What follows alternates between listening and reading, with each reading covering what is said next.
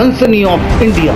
Crime branch R K Puram Nai Delhi range की team ने attempt to murder case में wanted एक ऐसे खतरनाक क्रिमिनल को दबोचा है जो इलाके में अपना दबदबा कायम करने के लिए राह चलते सीधे साधे लोगों से बिना बात के पंगा लेता था।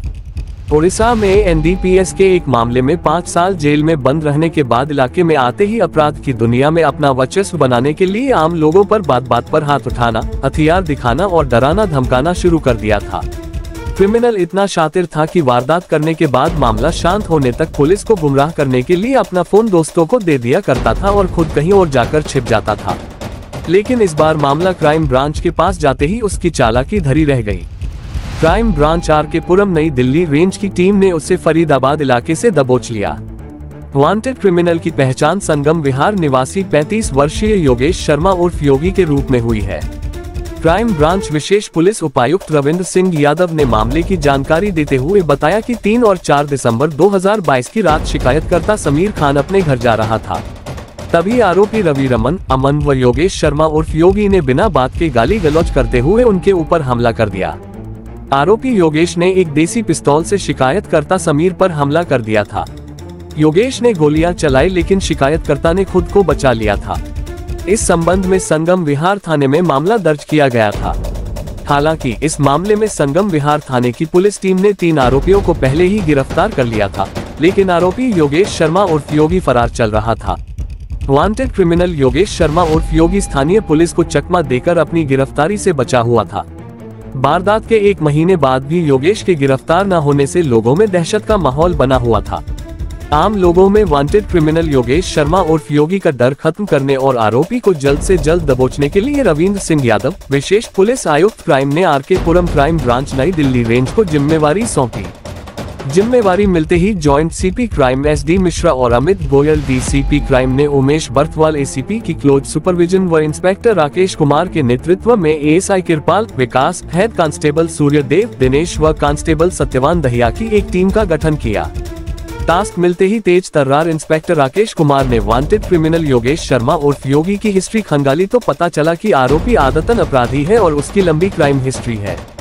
टीम ने आरोपी के मोबाइल नंबर को सर्विलांस पर लगाकर उसकी एक्टिविटी और मूवमेंट पर नज़र रखनी शुरू कर दी। मोबाइल की लोकेशन संगम विहार इलाके से आ रही थी।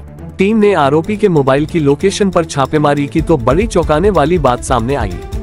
मोबाइल तो संगम विहार इलाके में एक्टिव था, लेकिन वांटेड क्रिमिनल योगेश शर्मा उर्फ़ योगी मौके पर नहीं था। तेज तर्रार इंस्पेक्टर राकेश कुमार को समझते देर नहीं लगी कि अपराधी बड़ा ही शातिर है और पुलिस को गुमराह करने के इरादे से फ़ोन संगम विहार इलाके में छोड़कर कहीं और जाकर छिपा हुआ है। इंस्पेक्टर राकेश कुमार ने वांटेड क्रिमिनल योगेश शर्मा उर्फ़ योगी को दबोचने के लिए अपनी रणनीति चेंज की। टीम को पता चला कि आरोपी के माता पिता और बड़ा भाई फरीदाबाद के रोशन नगर इलाके में रहता है।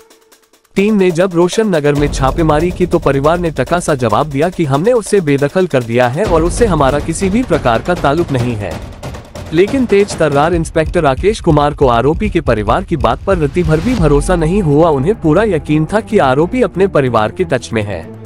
इसलिए आरोपी के परिवार के आसपास मुखबिरों का जाल बिछाने के साथ साथ टीम के कुछ जवानों को सादी वर्दी में तैनात कर दिया। तेज इंस्पेक्टर राकेश कुमार का शक उस समय सही निकला जब टीम के हेड कांस्टेबल सूर्य देव को अपने सोर्स से पता चला कि आरोपी वास्तव में अपने परिवार के टच में है और देर रात घर भी आता है। हेड कांस्टेबल सूर्य देव की इंफॉर्मेशन पर टीम ने दिन रात आरोपी के परिवार पर नज़र रखनी शुरू कर दी। और जैसे ही आरोपी अपने माँ बाप के घर आया, टीम ने उसे दबोच लिया।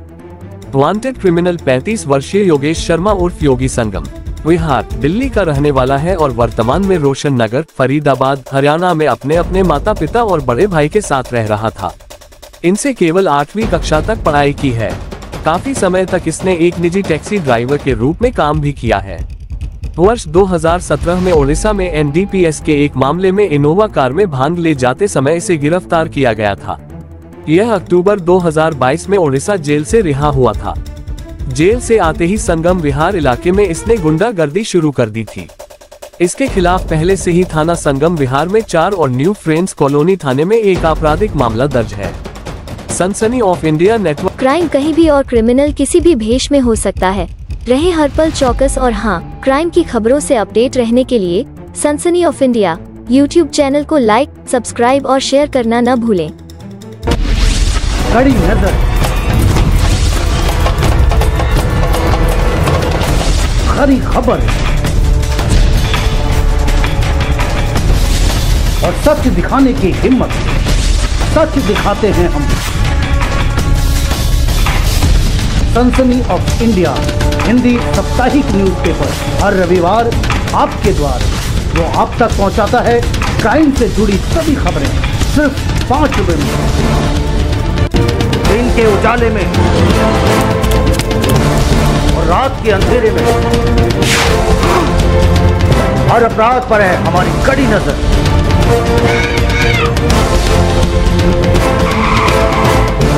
जुर्म की हर खबर से कराएँगे आपको रूबरू।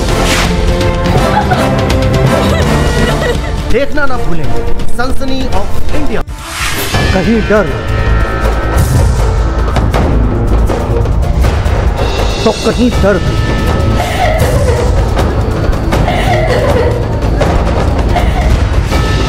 कहीं आत्महत्या। तो कहीं हत्या। कहीं साजिश। तो कहीं रंजिश। हर जुर्म का करेंगे पर्दाफाश। देखें। हर रोज रात साढ़े दस बजे सनसनी ऑफ़ इंडिया।